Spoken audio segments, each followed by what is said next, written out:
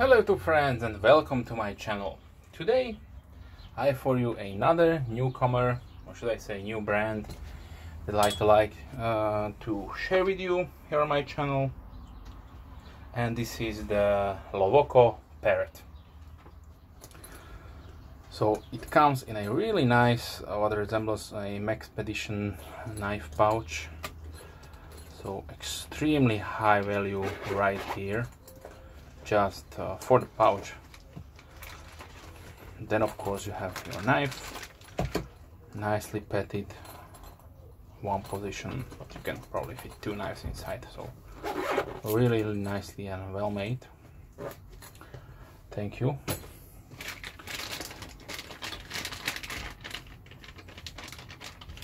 And just to uh, to keep it right from the table this is a $30 knife so how much will you pay for just a pouch? 10 15 even more? So extremely high value here. Okay so the parrot is a slip joint. A talon or hawkbill style uh, blade right here. And let's talk about the specifications. So this is a smaller knife of course we have a 17 centimeters or 6.7 inches overall length.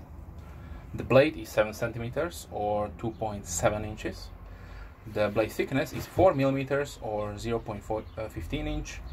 The blade width is 3.8 centimeters or 1.5 inch.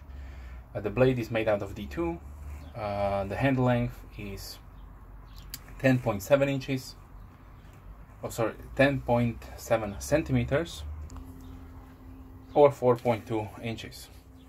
The handle thickness is 1.5 centimeters or 0.6 inch and the handle width is 4 centimeters or 1.6 inches. The handle is made out of two pieces of uh, 3D milled G10 and the weight is 131 gram or 4.6 ounces it has a really really hard stiff uh, spring so that you're you're protected. Just keep in mind that you have to apply pressure here to stabilize or lock the, the knife. This should be in no way shape or form a hard use knife of course because it, it has no lock and when you apply too much negative pressure so here this way it could close and yeah uh, do some damage. Okay? So keep in mind what I would uh, suggest this knife to be used for probably the best uh, way would be packaging opener. Let's test out the sharpness. So this is really nicely sharp out of the box. It has really nice uh, milling pattern here.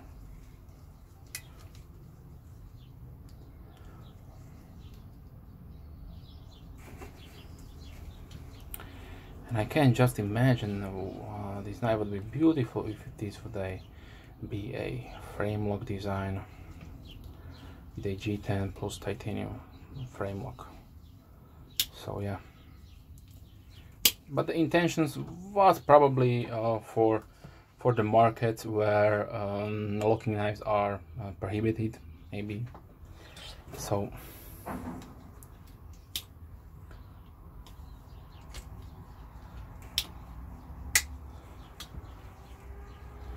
The knife features the bear claw logo here I don't know if this is a, a, series of knives or just a brand for a reseller because if I'm not mistaken I saw in the past the bear claw on some uh, Russian uh, outsourced uh, knives or designs which were made of course in China. So maybe this is a, a series that was made for the Russian market but now it's available worldwide. Sometimes they will do uh, the Chinese will do this kind of contracts uh, with uh, uh, with companies. They are selling knives in different countries and then they will produce the design only for a couple of years for them and then it, it, it is free for all. You have a nail link here but given this is a really uh, large or wide uh, profile. You have no problems to pinch it. Maybe it was a requirement for the jurisdiction of the country that I don't know. I don't know. We are speculating here. But overall it's a really beautifully made knife so it's really nice and beefy even uh, in a small form factor of course. You have a really nice purchase uh, no hotspots. Also in reverse. Keep in mind I have an XL large hand. So if you have a smaller hand it will fit you perfectly.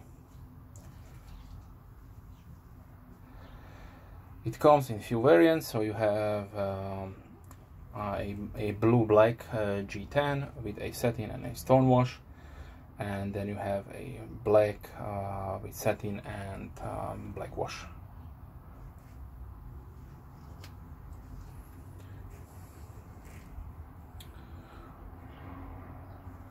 Okay so let's see the profile how the knife looks in the pocket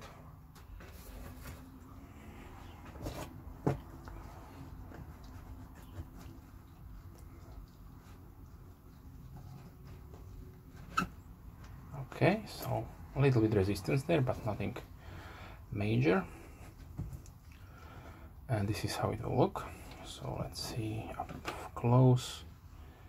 So this is how much it will stick out. Nice uh, acid washed uh, clip. So it will be really uh, nicely concealed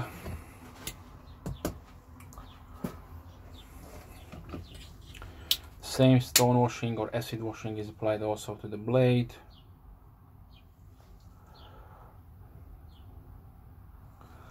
With a polished hardware pivot screw. A yes this is a fully enclosed backspacer because it's a it is a slip joint so this is the this is the spring of course no millings inside. This is a just a G10 scale version. So no uh, inserts or liners are used. Okay so let's see some size comparisons. Okay so we have here the Kershaw Skyline Spyderco Delica 4 small Griptilian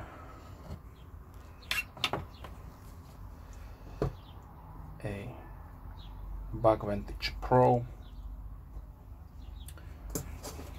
940 from Benchmade.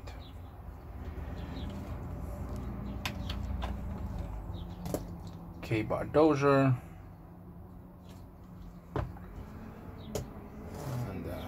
mini Recon one from Cold Steel Knives.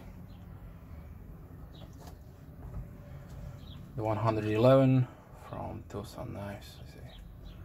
Obviously a larger knife. And the Byrd Meadowlark uh, with the Hawkbill blade. So they are comparisons wise almost the same okay so price wise like I mentioned you are looking at uh, 29.99 this is obviously uh, can be uh, also a little bit cheaper depending on your preferred uh, knife reseller. You can also check out uh, different sites uh, like like FastTech, uh, GearBest, uh, AliExpress.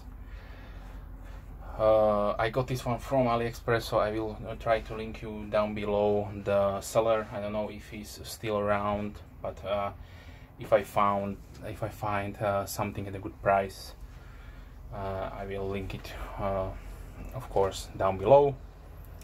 So, thanks for watching. if you are a subscriber, thank you very much for your support. If you are not, please consider subscribing. I try to uh, publish at least three videos per week, mostly knives and gear oriented. Um, yes, and uh, if you have any questions, I'm more than happy to uh, to reply.